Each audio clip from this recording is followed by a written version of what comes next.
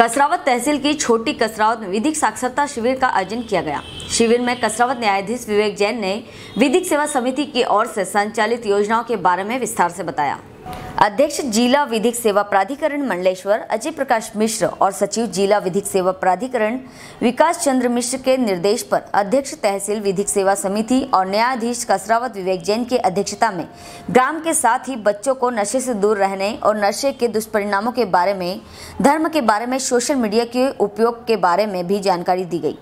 कसरावत से अखिल खान की रिपोर्ट। सरकार की तरफ़ से जब भी कोई मुकदमा होता है सरकार की तरफ़ से लड़ते हैं। तो आपको कानून की इतनी अच्छी और इतनी बढ़िया जानकारी दे रहे थे वाहन के बारे में बता रहे थे कि जब तक आपका लाइसेंस बनाने की उम्र नहीं जब तक आप बिना लाइसेंस के आप गाड़ी चलाते हो। तो आपको उसका बहुत बच्चों के बारे में गुड टच बैड टच की बात करी तो छोटे बच्चों को पता होना चाहिए कि जब कोई हमें छू रहा है, हमें प्यार से किस कर रहा है, या सामान्य भाषा में जिसको अपन कुची करना भी बोलते हैं, छोटे बच्चे को पता होना चाहिए कि कौन किस नियत से कर रहा है? क्योंकि अगर उस बात को वहीं पर रोक दिया जाएगा, अगर छोटे बच्चों को बता दिया जाए कि इस तरीके का टच बैड टच है, ये बुरा टच है तो बच्चा उस बात को अपने माता पिता के, अपने टीचर्स के सामने ला सकता है और उस घटना को वहीं होने से रोका जा सकता है। अगर कोई व्यक्ति आपके घर कोई अंकल आते हैं या आपके, आप स्कूल जाते हैं, कोई टीचर है कोई भी, अगर आपको लगातार बार बार आपके गालों पर किस कर रहा है, अगर आपको इधर उधर हाथ लगा रहा है बार बार लगातार में। आपके हाथ पकड़ रहा है बार बार आपको अपने मोबाइल पर फ़ोटो या वीडियोस दिखा रहा है। तो आप समझ जाइए कि ये बैड टच है। ठीक है ना? काम होता है और वो पुलिस में या कोर्ट में कंप्लेंट करती है तो उसकी पहचान पूरे रूप से गुप्त रखी जाएगी। किसी भी कागज़ में या अखबार में कहीं पर भी उनका नाम नहीं छापा जाएगा।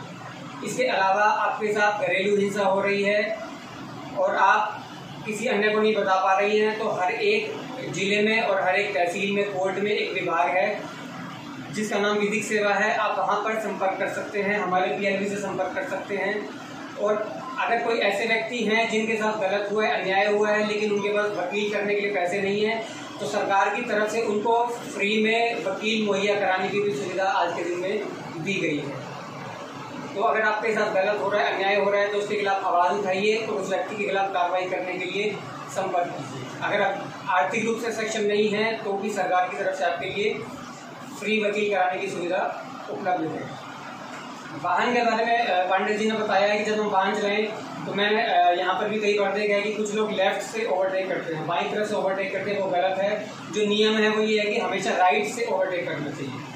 और जब भी आपको कहीं मुड़ना हो तो इंडिकेटर हमेशा देख करके मुड़े ताकि पीछे वाले को पता लग जाए कि अब आप मुड़ने वाले हैं और वो अपनी गति धीमी कर ले, आपके दूसरी साइड से निकल जाए। बिना इंडिकेटर दिए अगर एकदम से मोड़ लेते हैं, पीछे वाला वाहन आपके अंदर घुस जाता है, आपके वाहन में आके तो इसी तरह बहुत सारी घटनाएँ होती हैं। फोर व्हीलर चलाएँ तो सीट बेल्ट पहनकर चलाएँ टू व्हीलर जब भी चलाएँ तो हेलमेट ज़रूर लगाएँ। कितने ही वीडियो आजकल हम देखते हैं कि एक व्यक्ति को पीछे से टक्कर मार दी किसी ने वो सड़क पर गिरा और उसके सिर के ऊपर से ट्रैक्टर का पहिया निकल गया, लेकिन तब भी वो बच गया, क्यों? क्योंकि उसने हेलमेट लगाया होता हेलमेट लगाने से उसकी जीवन बच गया अगर हेलमेट नहीं लगाया होता तो पहिया उसके सिर के ऊपर से निकल जाता और उसका बचना नामुमकिन था। मैं बच्चों से भी आग्रह करूँगा, अगर आपके पापा मोटरसाइकिल पर कहीं जा रहे हैं तो आप जिद करके उन्हें हेलमेट पहनाइए। अगर आप जिद करके उन्हें हेलमेट पहनाएँगे तो 99 परसेंट हेलमेट पहन के चलेंगे और आपके पापा सुरक्षित रहेंगे। अगर कोई एक्सीडेंट हो भी जाता है तो उनको ज़्यादा चोट नहीं आएगी। हेलो फ्रेंड्स आप देख रहे हैं हमारा channel S W twenty four news हमारे सारे वीडियो सबसे पहले देखने के लिए आप हमारे चैनल को सब्सक्राइब करें और पास में लगे बेल आइकन को दबाना बिल्कुल भी ना भूलें।